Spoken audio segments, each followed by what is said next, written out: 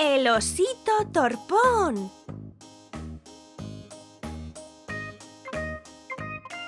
En el bosque vivía un osito al que todos querían mucho.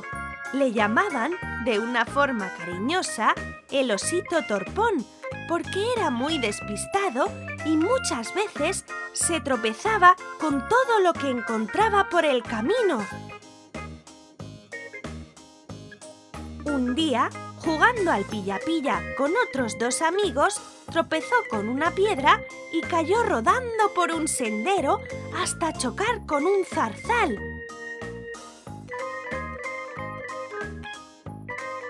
Sus amigos tardaron un buen rato en sacarle las espinas y curarle. Otro día estaba cogiendo manzanas de un árbol sin darse cuenta de que cerca había un panal del que salieron cientos de abejas y pensando que las atacaba, empezaron a perseguirle. Acabó con unos cuantos picotazos.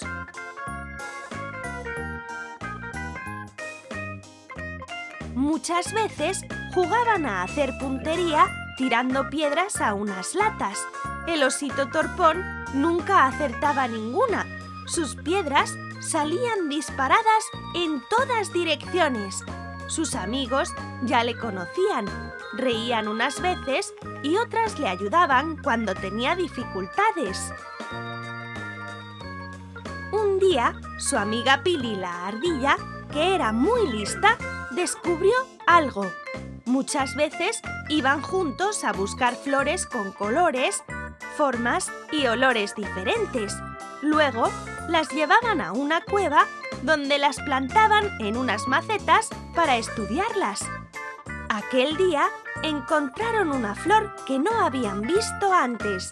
La ardilla tenía las manos ocupadas y le pidió al osito que la cogiera, a lo que éste respondió ¿Cuál?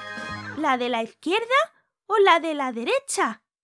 Luego intentaba cogerla y no atinaba. Pili se quedó muy sorprendida y probó con otro juego para ratificar lo que ella creía que le pasaba. A ver, Torpón, ¿cuántas moras hay aquí? Mm, se tiró un buen rato dudando hasta que contestó. Ya lo tengo. Hay cuatro. En realidad, había dos moras.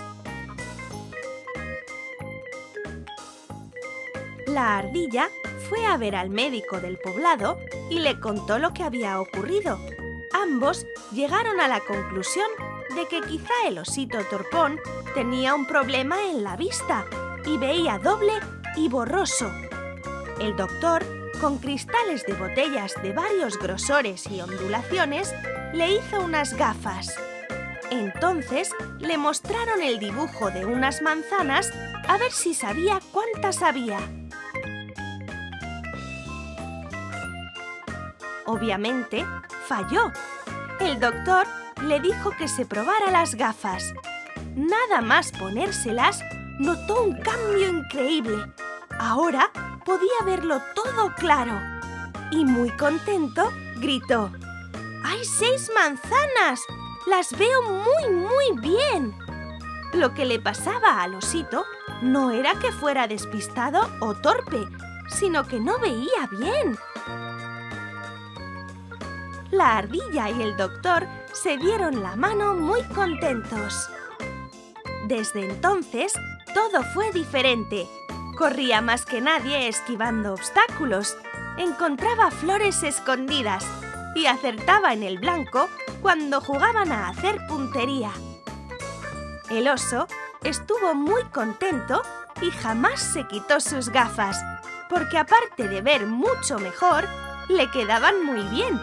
De hecho, muchos de sus amigos se pusieron unas aunque sin cristales. Fin.